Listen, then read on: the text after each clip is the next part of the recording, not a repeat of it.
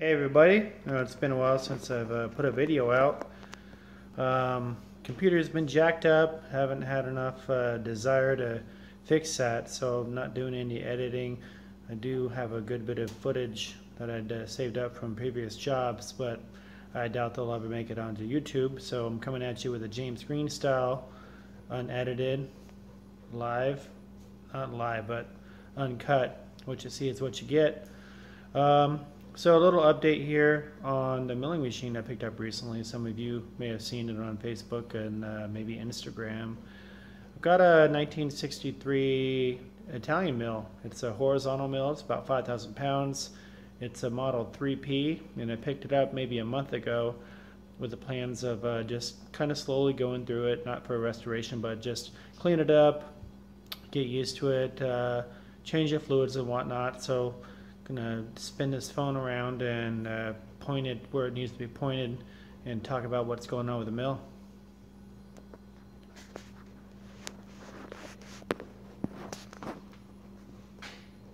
Let's see if I can turn this thing. Oh, I have to do it like this. I can't change my uh, viewfinder to go the other way. So hopefully you can see what I'm trying to get at. So there it is, Hercules 1963 horizontal universal horizontal it's a 50 taper machine. So I can uh, run a big boy or big-ish boy like this shell mill here. It came with uh, 10 good inserts and uh, it should be able to do um, do some cutting. Here's all the arbors that came with it as well. And here's uh, the fluid that keeps me hydrated while I work on it yeah, I'm too lazy to throw it in the trash can. So I've basically done uh, uh, maybe a 90%, 85% cleaning on this thing. Um, can't really tell by the chips down here. What uh, happened with those is um, up here, on the top of the ram, there is these slots, and it was just full of aluminum chips, and I blasted them out, and of course I did it uh, up there after I cleaned the majority of the machine and everything fell down.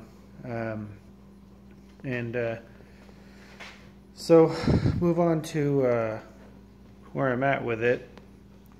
Um, this is a cover that I've, uh, or rather this is the um, the cavity I guess for the gears for the spin, um, change in speeds and uh, whatnot. I I um, was trying to figure out how to drain the thing and uh, ended up pulling this cover off, getting fluid out of there.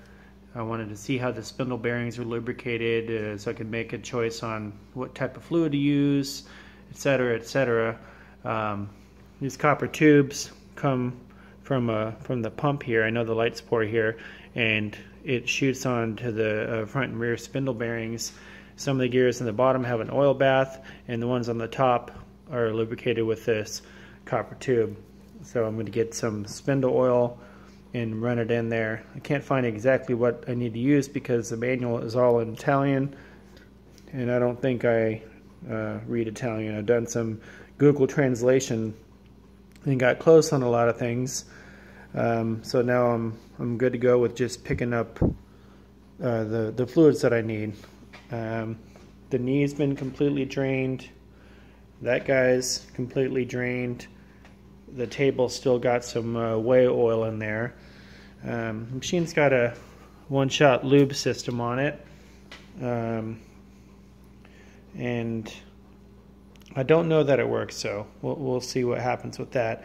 When I picked up the machine, it uh, it was under power, and I did get to see it uh, did get to see it run. The spindle sounded great. Inside of this cavity looks really good. Um, the where I'm, where I'm at right now is kind of shopping around here and there. That's nice. Here and there for these uh, sight glass windows. They're plastic and old and nasty.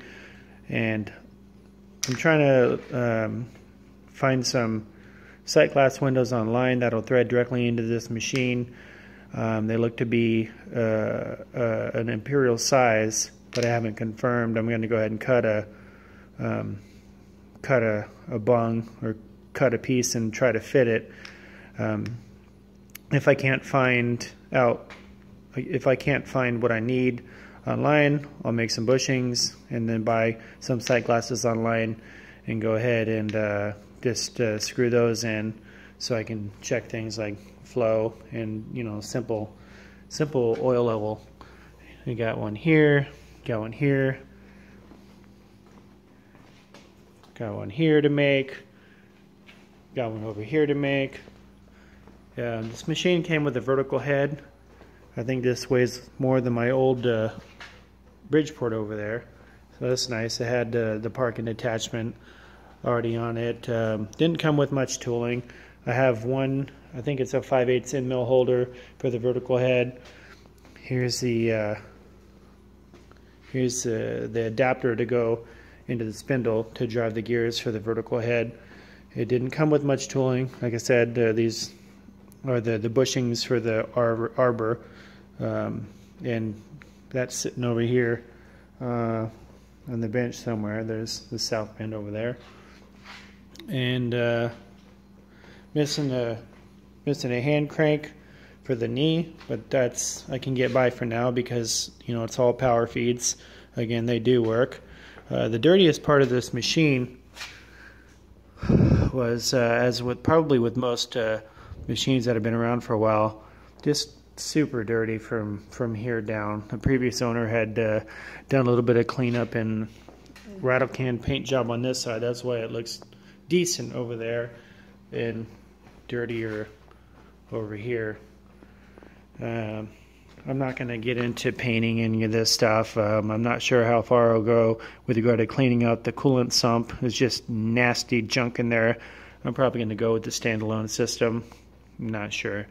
Uh, the machine is a, uh, this is a, the knee's got a two and a half horsepower motor and the spindle is a seven and a half horsepower motor. And right now I've only got a 10 horse uh, phase converter, so I can't, you know, I can make this thing run, but it's not going to do uh, full power. So I'm looking to uh, get into um, a 15 horse phase converter. I don't know if I'm going to find my own motor and buy a panel or just buy a complete system. I'm not sure. So I got uh, James Green recommended this uh, hydraulic oil from O'Reilly. Just picked up a pump today and gonna fill up the knee with that. And uh, like I said earlier, gonna buy some other fluids and um, get this thing up and going after it's after I finish cleaning it and putting the fluids in, getting the sight glasses handled. Then I'll put power into it. Um, I'm not in a rush to get it uh, fired up. Um, just kind of a little uh, here and there project. Been working 17 hours a week overtime at work, and not really out here in the in the garage that much to uh, have fun with the machines. Poor things they're collecting dust. Um, that's basically it for this little update. Um, probably do a little video here and there about uh, putting this thing back together, the, the Humpty Dumpty, the 5,000 pound Humpty Dumpty. And uh, definitely we'll show you guys when I get power to it and when the thing's up and running. And I'll probably do a video of making the, the adapters for my sight glasses unless I can find sight glasses that screw directly into the machine. Uh, one more thing about that. Um, being that it is Italian, you figure to be all metric, but it reads in uh, imperial, uh, good for me.